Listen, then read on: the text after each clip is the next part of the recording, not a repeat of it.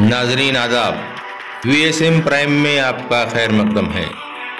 देश और दुनिया के ताज़ा समाचारों के लिए हमारे चैनल को सब्सक्राइब करें।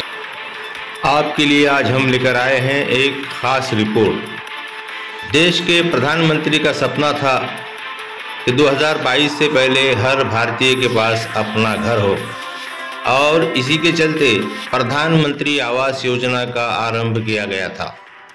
2017 से ये योजना जारी की गई। लोगों ने आवेदन किए, पैसे भरे और अपने घरों की प्रतीक्षा करने लगे।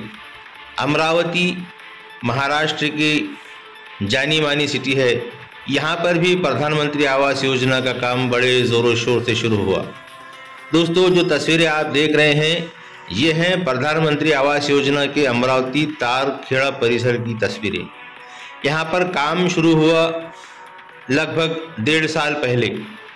लेकिन सिवाय चंद कॉलमों को खड़े करने के कोई काम आगे नहीं बढ़ा। एक बहुत बड़ा गड़ा खोद के चार महीने से छोड़ दिया गया। इसमें लाखों रुपये का लोहा, सेंटरिंग ये सड़ रही है। बारिश आने के बाद में ये तालाब जैसा बन जाएगा। इसका जिम्मेदार कौन? सिर्फ़ एक सिक्योरिटी के भरोसे पर यह पूरा एरिया ओपन छोड़ा हुआ है। देखिए आप ये लोहा पड़ा हुआ है, ये यहाँ पर लोहे के सरिया जो है, ये रखे हुए हैं। और कहीं कोई सिक्योरिटी का इंतज़ाम नहीं है। वॉचमैन यहाँ पर अपनी ड्यूटी देता है। अगर यहाँ पर बारिश में पानी जमा होने के बाद कोई नुकसान होता है तो इसका जिम्मेदार कौन रहेगा? ये जो लोहा भीग रहा है, यही अगर प्रधानमंत्री आवास योजना में लगाया जाएगा तो बिल्डिंग का काम कितना अच्छा होगा, आप इसका अंदाज़ा लगा सकते हैं। यहाँ पर दो महीने से किसी भी अधिकारी ने कोई एक विज़िट नहीं की है।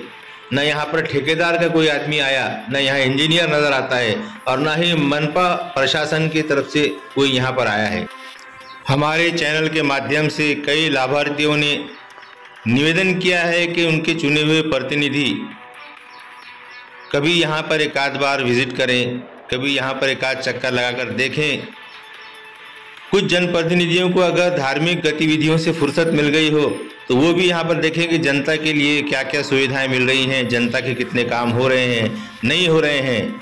हम आशा करते हैं इस न्यूज़ के बाद शायद कोई जनप्रतिनिधि या कोई अधिकारी, कोई पदाधिकारी यहाँ का दौरा करेगा और इस काम को गति मिलेगी और प्रधानमंत्री का जो सपना है 2022 के पहले लोगों को घर लेने का, शायद उसे पूरा करने में ये लोग अपना कुछ योगदान देंगे। देखते रहें वीएसएम प्राइम